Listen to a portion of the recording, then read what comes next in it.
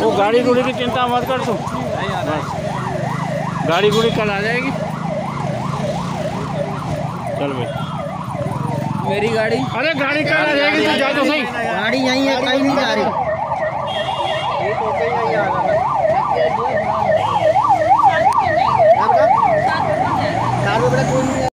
अरे गाड़ी ले जा पहले इसको ठीक कराओ यार। गाड़ी गुड़ी मत करो उसको ठीक कराओ। वो बोल रहे कि नहीं? क्या बोल रहे? हैं मैं पोस्ट वालन संजय मल यहाँ एक लड़का जो है गिर गया था तो उसको हमने 108 बुला के उसको 108 में भेज रहे हैं। ये जागरूक नागरिक थे जिन्होंने उनको प्रत्येक जो है 108 को बुला के उनको भेजा है। ये हमारे साथ थे भैया। भैया जी? राज गोस्वामी राज गोस्वामी जी हो गए। विधानसभा से अध्यक्ष हूँ। रविंदर सिंह। रविंदर सिंह जी हो गए। ये हमारे पंकज भट्ट जी हो गए और हमने उनको 108 में भेज दिया है इलाज के लिए। धन्यवाद। जय श्री राम। जय श्री राम। अभी जो दुर्घटना हुई थी हमारे राजपुर रोड में जो लड़का घायल हो गया था गिर के अपने एक्टिवा से तो उसको हमने अपने जागरूक नागरिकों के साथ मिलके मैं पोस्ट पालन संजय मल, रिज़र्व पोस्ट पालन हमने उसको उठा के एक सौ आठ पे भेज दिया ताकि उसकी जो है मेडिकल ट्रीटमेंट को उचित दिया जाए।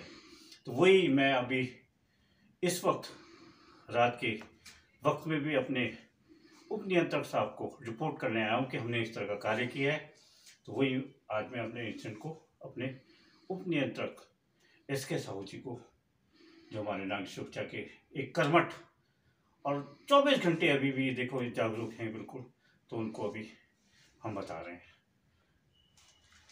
थैंक यू संजय मल जी।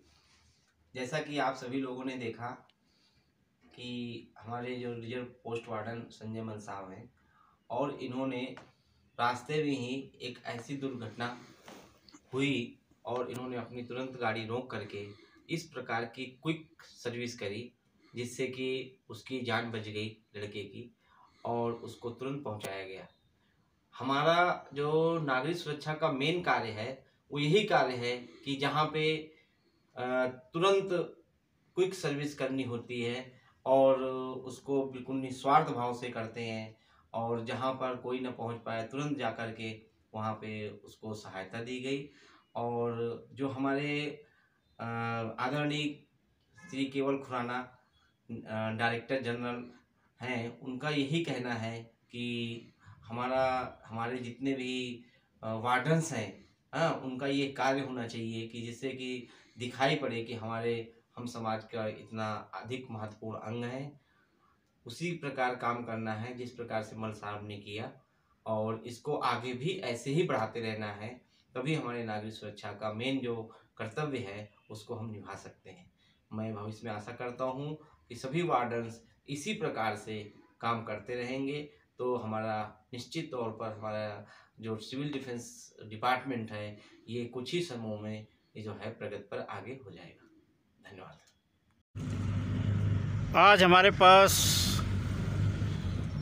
नागरिक सुरक्षा, सिविल डिफेंस के दो मुख्य अधिकारी लोग हैं।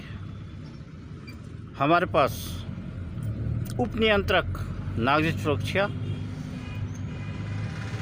साहू जी हैं और आईसीओ काला जी हैं।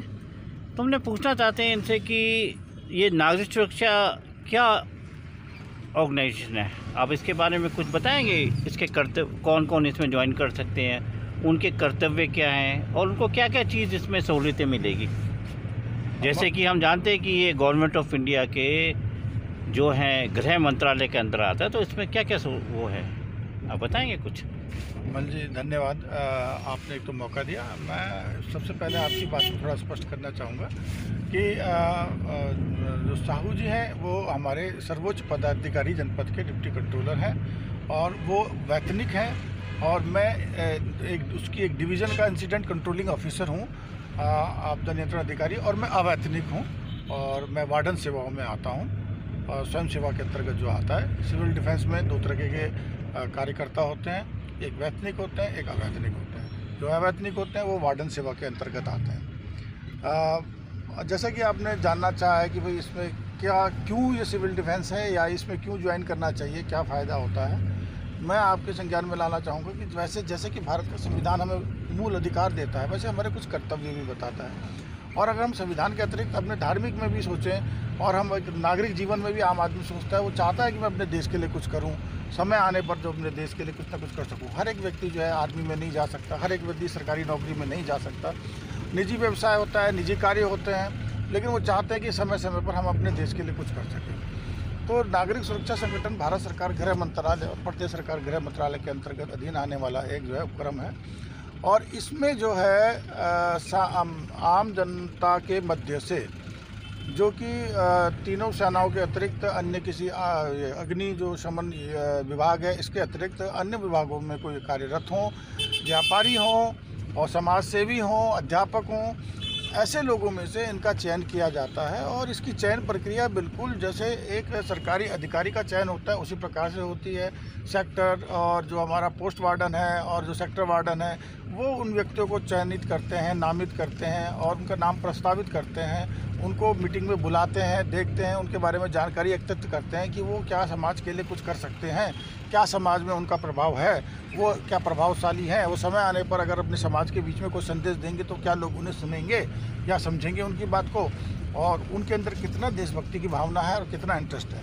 इस तरह के प्रस्ताव जब आगे जाते हैं, उन प्रस्तावों को वो और जगह से भी सेक्टर वार्डन और जो हमारे पोस्ट वार्डन है, इनके अलावा प्रस्ताव और अन्य जगहों से भी आ सकते हैं। जिनको जो है डिप्टी कंट्रोलर, सेक्टर वार्डन और पोस्ट वार्डन के माध्यम से वेरीफाई करते हैं और जब संतुष्ट हो जाते हैं पूरी सूचनाओं से कि ये व्यक्ति जो है उपयुक्त है वार्डन सेवाओं के लिए, किसी भी पद के लिए तो वो उसके नाम की संस्तुति करते हैं। और पूरी प्रक्रिया, जैसे कि मैंने पहले भी बताया कि पूरी प्रक्रिया एक जो सरकारी अधिकारी की भर्ती की होती है, उसी प्रकार चलाई जाती है एल वगैरह होती है।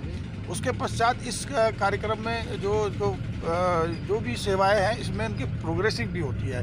ये जो है प्रोग्रेसिव ट्रेनिंग है, प्रोग्रेसिव उसमें पद हैं और उनकी पदोन्नति होती है उसी प्रकार से। और इसी प्रकार सरकारी सेवाओं के अनुसार इसमें 60 वर्ष की जो है रिटायरमेंट की आयु भी है। अन्य सरकारी विभागों में जैसे जो अच्छा कार्य करते हैं या जो राष्ट्रपति या विशेष पदक जिनको मिले हुए होते हैं, उन्हें सेवाओं में छूट मिलती है। इसी प्रकार से इसमें दो वर्ष की छूट भी दी जाती है। जिस प्रकार से एक सामान्य नागरिक को कुछ अवार्ड नहीं दिए जा सकते, जैसे डीजी मेडल है ये केवल जो है सरकारी अधिकारियों या सरकारी विभाग के कर्मचारियों को मिलता है, अधिकारियों को मिलता है। नागरिक सुरक्षा के जो ये अवैतनिक वार्डन होते हैं, इनको भी ये अवार्ड दिए जाते हैं। इनके नाम भी इसके लिए नामित किए जाते हैं। आपदा के समय जो हमारा नया नियम बना है और हवाई हमले के समय जो हमारे सिविल डिफेंस वार्डन होते हैं, इनको विशेष अधिकार जो एक्ट है, वो विशेष अधिकार देता है और जिसकी वजह से जो है, इनकी सेवाएँ जो है, भारत सरकार लेती है और अपने अपने सेक्टर अपने अपने पोस्ट और अपने जो इंसिडेंट जो कंट्रोलिंग होती है अपने अपने डिवीज़न में ये सक्रिय हो जाते हैं। और क्योंकि जैसे कि ये प्रभावशाली व्यक्ति होते हैं जो अपने क्षेत्र के तो ये अपने लोगों को निर्देश देते हैं। क्योंकि ऐसे आपातकाल के समय पे जो सरकारी अधिकारी हैं, सरकारी विभाग हैं, वो अपने कार्यों में व्यस्त हो जाते हैं और जनता की जो व्यवस्थाएँ होती हैं, वो कई बार अनदेखी की जाती हैं तो अनदेखी हो जाती है। तो उसमें जो है, हमारे वार्डन्स वहाँ पर उस सेवाओं को संभाल लेते हैं। इसी प्रकार से बारह विभाग एक्ट के अंतर्गत जो बारह विभाग हैं, जिसमें फायर विभाग है, ये सब जो है कंट्रोलर के अंतर्गत आ जाता है। जो कंट्रोलर होता है, वो डिस्ट्रिक्ट मजिस्ट्रेट होता है और डिप्टी कंट्रोलर कंट्रोलर के अंतर्गत आ जाता है। ये सारे विभाग जो है कंट्रोल रूम में बैठते हैं सिविल डिफेंस के कंट्रोल रूम में। और यहाँ पर मैं एक बात भी और बताना चाहूँगा। जैसे हमारे देहरादून में सिविल डिफेंस का जो रूम है या कंट्रोल रूम है, वहाँ पर हॉट लाइन सरसावा से लगी हुई है। तो जब भी रेड सिग्नल हवाई हमले का या येलो सिग्नल जब भी आएगा तो सबसे पहले इन्फॉर्मेशन सिविल डिफेंस को ही मिलेगी और वो सिविल के अंदर जो तैयारी करेंगे लोगों के बचने की कि हवाई अटैक में क्या करना है तो उसका वो प्रशिक्षण लेते हैं। और मैं आह्वान करूँगा कि हमारे जो खुराना साहब हैं, वो डीजी साहब हैं, उन्होंने एक नवयुवक और बहुत एक अच्छे अधिकारी को हमें जो है डिप्टी कंट्रोलर के रूप में जो है यहाँ पर दिया है। खुराना साहब जो है इनोवेटिव हैं, उन्होंने होमगार्ड की भी एक पहचान बनाई है और मुझे लगता है कि वो आ, हमारे जो नवनियुक्त तो डिप्टी कंट्रोलर साहब हैं साहू सर वो उनके माध्यम से ये जो सिविल डिफेंस है ये भी एक ऊंचाइयों को छुएगी और वो प्रयास कर रहे हैं खुराना साहब स्वयं जो है इसका जो है इंटरेस्ट लेके जो है देख रहे हैं चीज़ों को साहू जी के माध्यम से और साहू जी उनके विश्वास पे खड़े उतर रहे हैं मुझे ऐसा प्रतीत होता है और वो सक्रिय हैं इसमें और जल्दी ही जो है इसके उचित परिणाम भी मिलेंगे। तो मैं आह्वान करता हूँ सभी लोगों को कि सिविल डिफेंस ज्वाइन करें, अपने क्षेत्र के सिविल सेक्टर वार्डन को पहचानें, अपने क्षेत्र के पोस्ट वार्डन को पहचानें और अपने क्षेत्र में क्या क्या सिविल डिफेंस प्रशिक्षण दे रही है उसमें प्रतिभाग करें। मॉक ड्रिल जो होती है उसमें प्रतिभाग करें। थैंक यू, धन्यवाद।